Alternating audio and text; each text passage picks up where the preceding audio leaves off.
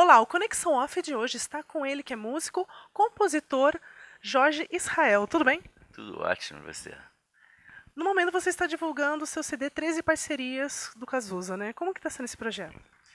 Ah, foi muito bacana. A gente gravou o disco em 2010, né? Lançamos há dois anos atrás e foi foi uma, uma ideia que surgiu assim no fim do ano de 2009, quando me convidaram para fazer um evento de poesia, que era uma homenagem ao Cazuza, e me perguntaram quantas músicas eu tinha, e eu nunca tinha contado quantas músicas eu tinha, e eu falei, ah, mais ou menos umas 10 tal, e aí o produtor falou, não, vê direitinho, eu fui ver, eram 10, 11, 12, 13, quando eu fui ver, tinha umas 18 músicas, e eu percebi que pediram para eu tocar algumas delas nesse, nesse, evento. Eu, não, eu só sabia tocar umas cinco, seis músicas e as outras eu nunca mais tinha tocado nem entrado em contato com elas. Aí fui me reaproximei das músicas, comecei a cantar de novo e tal. E aquilo começou a me dar um, uma vontade de juntar tudo, né?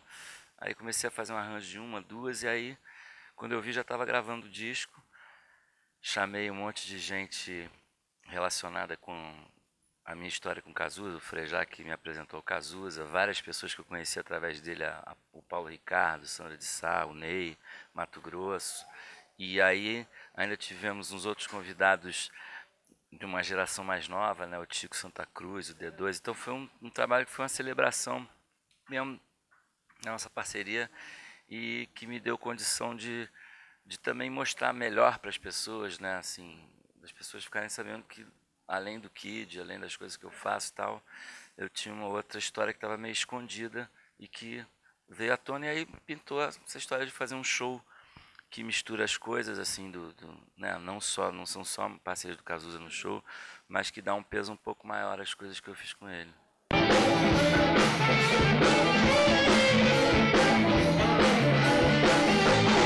esse projeto do Cazuza ele tem uma música inédita gravada em voz, né? Como que foi assim quando você encontrou essa música perdida?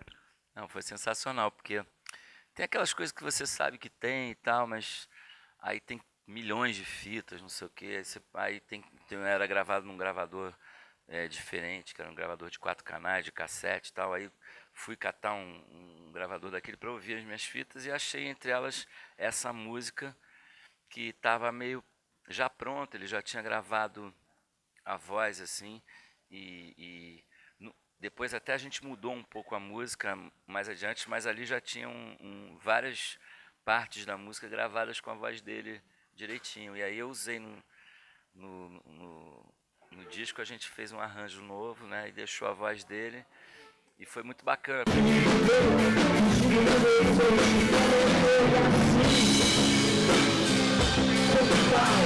Eu vendo a sua história, você foi o primeiro saxofonista dos Paralamas do Sucesso. Além disso, você é compositor, né? E atualmente, além do projeto solo, tem o Kid Abelha. Como que é para você é, ter tempo para resolver tudo isso, né? Além do que de fazer os outros projetos por fora. Não, acho que a gente, eu trabalho, né? O trabalho da gente é música, assim. Eu, eu gosto muito de, como eu sou apaixonado pela música, pelos músicos, pelas né, as pessoas que tocam e tal. Eu acho que assim, poderia tem gente, é mais de temperamento, né? Tem gente que fica fazendo aquele show assim a vida inteira e de repente não tem tanta essa necessidade de fazer outras coisas. No Kid, por exemplo, eu adoro as pessoas não têm problema de repetição, não tem nenhum problema de repetição. Tocar a mesma música 10 milhões de vezes, com tanto que eu também possa tocar outras músicas, mesmo que seja em outro lugar, entendeu?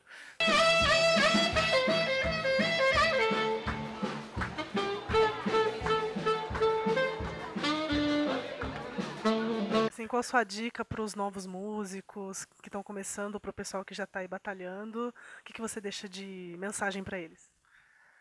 Ah, eu acho que uma das coisas que eu posso dizer para qualquer um é que, que, sei lá, que ouça bastante disco, né, colecione, procure se informar, principalmente da praia que a pessoa gosta, mas também de outras, de outras, né, outros tipos de música, que isso é a, a biblioteca do músico, né, e também procurar, assim, ser um pouco, é, se, se jogar mesmo, assim, na música, acreditar na música que está fazendo, tocar com outros amigos, às vezes as pessoas ficam muito estudando em casa e acho que é muito importante desde cedo, quando, mesmo quando você não toca bem ainda, tocar com outras pessoas vai te ajudando a, a, a não ficar uma coisa muito introspectiva, a música ser uma coisa serve para as duas coisas, né? introspecção, mas também serve para para socializar, para fazer que é um grande barato também. É quase que um esporte coletivo, né? A música.